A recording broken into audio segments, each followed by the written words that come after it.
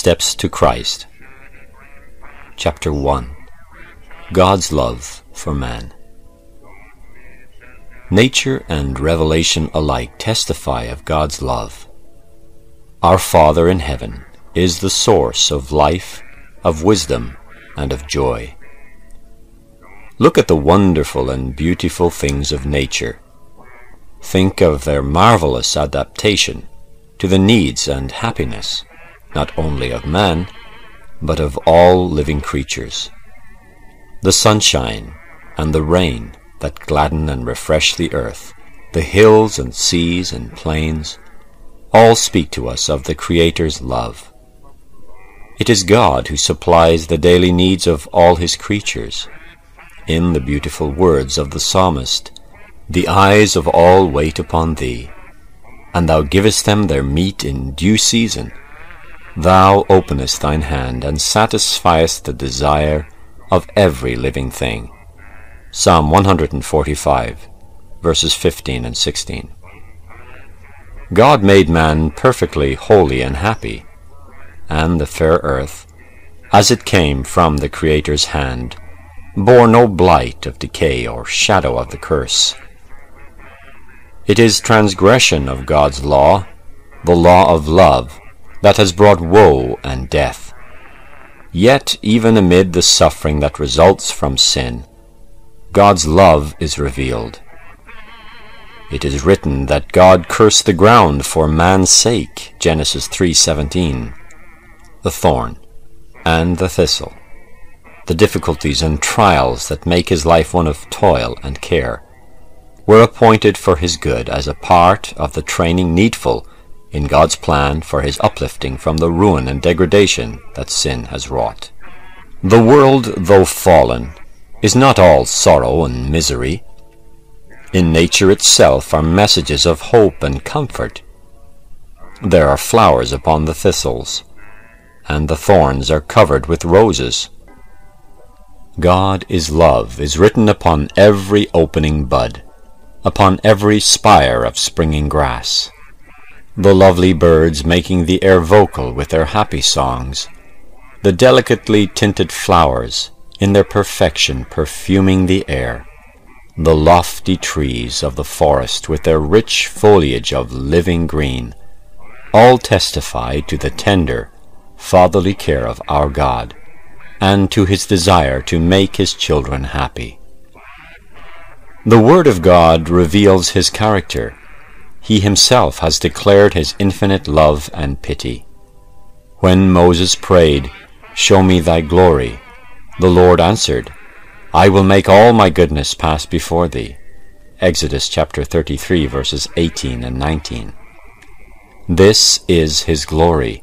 The Lord passed before Moses and proclaimed, The Lord, the Lord God, merciful and gracious, long-suffering and abundant in goodness and truth, keeping mercy for thousands, forgiving iniquity and transgression and sin. Exodus chapter 34 verses 6 and 7. He is slow to anger, and of great kindness, because he delighteth in mercy. Jonah chapter 4 verse 2, Micah chapter 7 verse 18. God has bound our hearts to him by unnumbered tokens in heaven and in earth through the things of nature and the deepest and tenderest earthly ties that human hearts can know, he has sought to reveal himself to us. Yet these but imperfectly represent his love. Though all these evidences have been given, the enemy of good blinded the minds of men so that they looked upon God with fear. They thought of him as severe and unforgiving, Satan led men to conceive of God as a being whose chief attribute is stern justice, one who is a severe judge, a harsh, exacting creditor.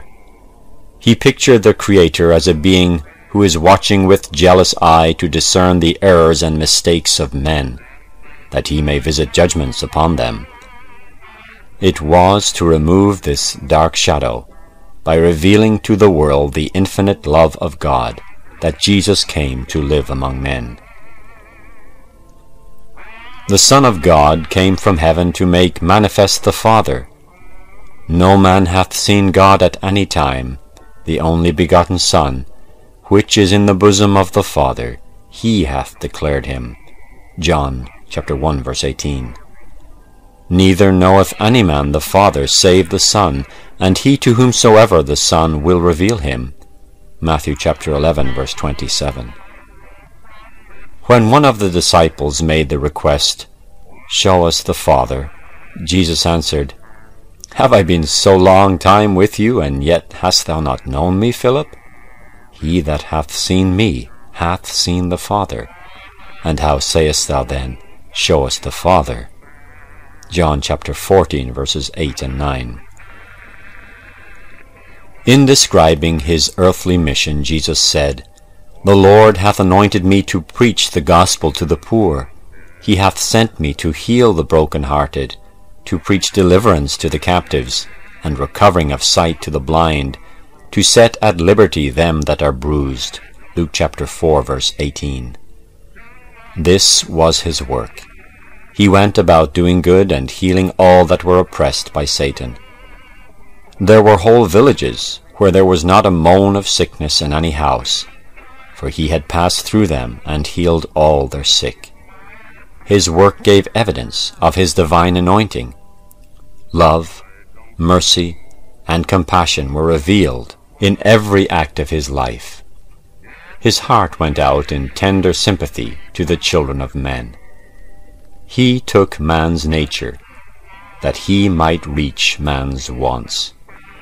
The poorest and humblest were not afraid to approach him. Even the little children were attracted to him. They loved to climb upon his knees and gaze into the pensive face, benignant with love. Jesus did not suppress one word of truth, but he uttered it always in love. He exercised the greatest tact and thoughtful, kind attention in his intercourse with people. He was never rude, never needlessly spoke a severe word, never gave needless pain to a sensitive soul. He did not censure human weakness. He spoke the truth, but always in love. He denounced hypocrisy, unbelief, and iniquity, but tears were in his voice as he uttered his scathing rebukes. He wept over Jerusalem, the city he loved, which refused to receive him, the way, the truth, and the life. They had rejected him, the Saviour, but he regarded them with pitying tenderness. His life was one of self-denial and thoughtful care for others. Every soul was precious in his eyes. While he ever bore himself with divine dignity, he bowed with the tenderest regard to every member of the family of God. In all men he saw fallen souls whom it was his mission to save. Such is the character of Christ as revealed in his life. This is the character of God. It is from the Father's heart that the streams of divine compassion, manifest in Christ, flow out to the children of men. Jesus, the tender, pitying Saviour, was God, manifest in the flesh. 1 Timothy 3.16 it was to redeem us that Jesus lived and suffered and died.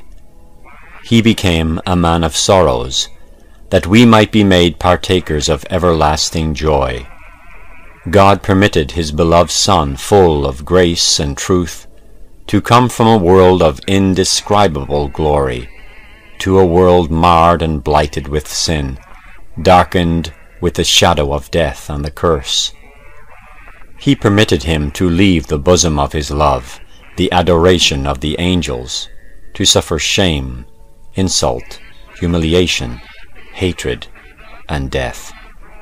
The chastisement of our peace was upon him, and with his stripes we are healed. Isaiah chapter 53 verse 5. Behold him in the wilderness, in Gethsemane, upon the cross, the spotless Son of God, took upon himself the burden of sin. He who had been one with God felt in his soul the awful separation that sin makes between God and man. This wrung from his lips the anguished cry, My God, my God, why hast thou forsaken me? Matthew chapter 27 verse 46. It was the burden of sin, the sense of its terrible enormity, of its separation of the soul from God. It was this that broke the heart of the Son of God. But this great sacrifice was not made in order to create in the Father's heart a love for man, not to make him willing to save. No, no. God so loved the world that he gave his only begotten Son, John 3:16.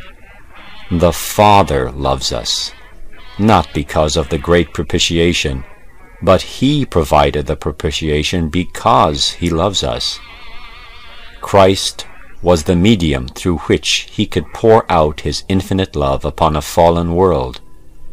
God was in Christ reconciling the world unto himself, 2 Corinthians 5:19.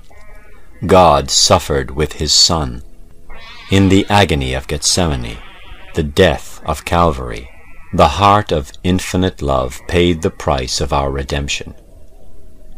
Jesus said, Therefore doth my Father love me, because I lay down my life, that I may take it again. John chapter 10, verse 17. That is, my Father has so loved you that he even loves me more for giving my life to redeem you. In becoming your substitute and surety, by surrendering my life, by taking your liabilities, your transgressions, I am endeared to my Father, for by my sacrifice God can be just and yet the justifier of him who believeth in Jesus. None but the Son of God could accomplish our redemption, for only he who was in the bosom of the Father could declare him. Only he who knew the height and depth of the love of God could make it manifest. Nothing less than the infinite sacrifice made by Christ in behalf of fallen man could express the Father's love to lost humanity.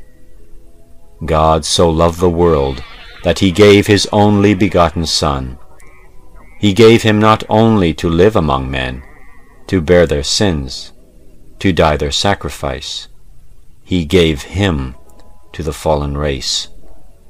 Christ was to identify himself with the interests and needs of humanity he who was one with God has linked himself with the children of men by ties that are never to be broken. Jesus is not ashamed to call them brethren, Hebrews 2.11. He is our sacrifice, our advocate, our brother, bearing our human form before the Father's throne, and through eternal ages one with the race. He has redeemed the Son of Man.